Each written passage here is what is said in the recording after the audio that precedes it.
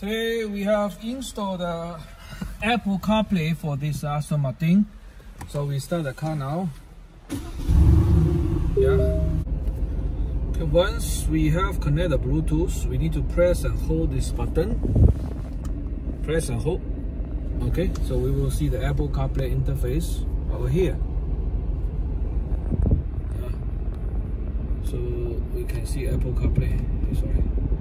We need to go to the Bluetooth settings and then link into my handphone. Now the Apple CarPlay come up. Okay, we can see this. All the control is under here by the knob, original knob. Yeah.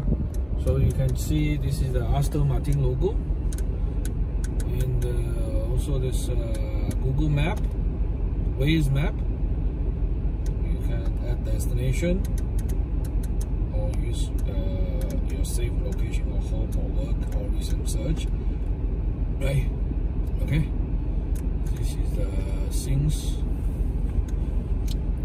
And if you want to go to the home page of the Apple CarPlay, you can see Spotify, WhatsApp, Telegram, Waze, and uh, some other apps like Baidu, D2. This one also works in Singapore.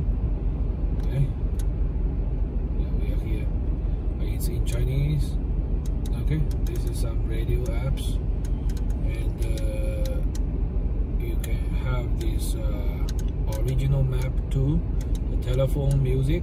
Okay this is a new interface right? Half of the screen is the map half of the screen is uh, the music okay? So you can hear the sound coming from your car